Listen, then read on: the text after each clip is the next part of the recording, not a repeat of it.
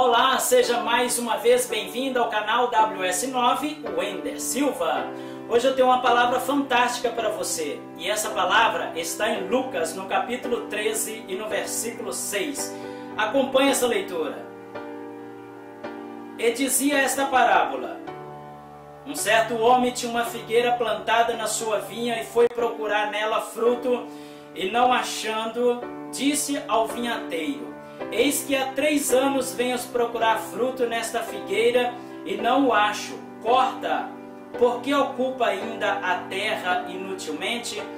E, respondendo ele, disse: Senhor, deixa este ano até que, a, até que eu a escave e a esterque.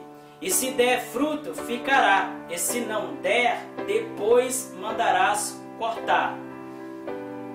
Então o que, que acontece? O senhor da vinha, o dono de uma terra, estava ali, a plantação, e ele ali vendo a figueira, ele vendo ali a figueira, ele foi ver se conseguia colher frutos da figueira. E ela não dava. Há três anos ele esperava colher frutos da árvore, mas ela não tinha. A árvore era até bonita, cheia de folhas, uma árvore muito chamativa. E aí ele ia lá e não achava frutos. E aí ele disse para o vinhateiro, o cultivador da terra, ele falou: Olha, corta essa figueira, corta essa árvore. Eu não a quero mais aqui porque ela não me dá frutos, ela está ocupando a terra inutilmente. E aí ele disse: Senhor, faz o seguinte, vamos adubá-la deixa eu cuidar melhor dessa árvore.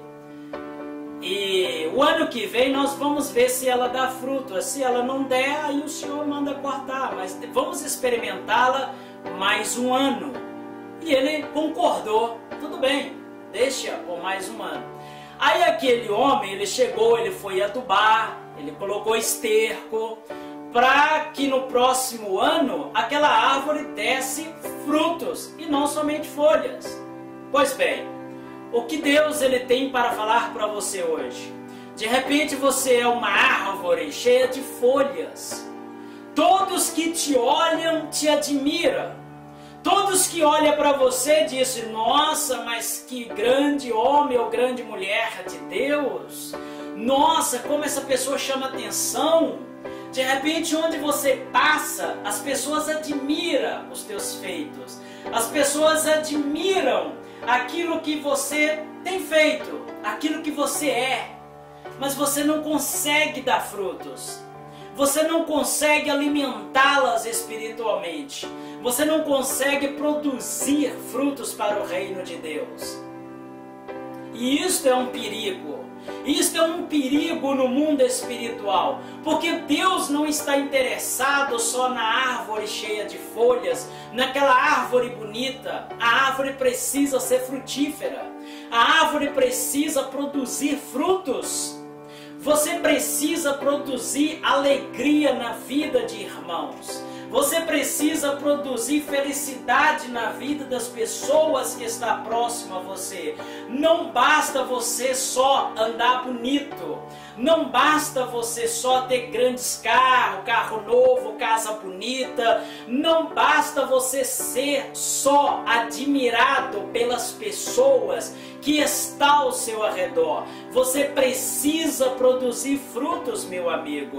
Você precisa produzir algo de bom às pessoas que estão ao seu redor. Você precisa ser uma pessoa caridosa, uma pessoa bondosa, uma pessoa atenciosa não é somente o suficiente você ser o destaque do seu bairro, ser o destaque da sua empresa, o destaque da sua cidade, da sua igreja. Não, isso não é o suficiente. Você precisa ser frutífero. Deus, ele usa-me nesse momento para te dizer que você precisa dar frutos. Porque se você não der frutos, virá uma ordem dos céus para cortar a árvore. E aí você vai secar. Uma árvore cortada, ela vai virar madeira seca. E aí você não vai produzir nem as folhas que produz. Ou seja, você não vai ser nada do que você é.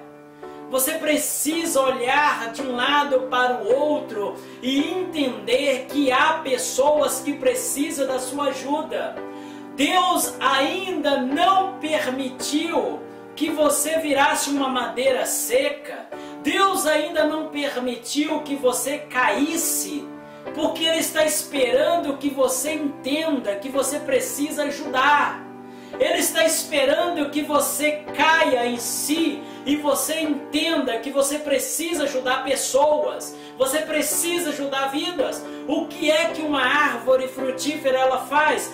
Ela alimenta pessoas famintas, ela sacia as vontades das pessoas de alimentar dela. Meu amigo, tem pessoas precisando que você alimente-as tanto fisicamente quanto espiritualmente, emocionalmente. Você precisa alimentar pessoas. Tem que sair do egoísmo. Não, eu sou uma árvore bonita. Eu sou a atenção das pessoas, eu sou a atenção da igreja, eu sou a atenção da cidade, eu sou a pessoa, eu sou o camarada. Meu amigo, você pode estar próximo de uma queda. Você pode estar próximo de ser cortado pelo vinhateiro, pelo dono da terra, que é Deus. Então, meu amigo, antes disso, deixa o Espírito Santo te usar, deixa a palavra de Deus falar com você e cuidar dessa parte emocional sua.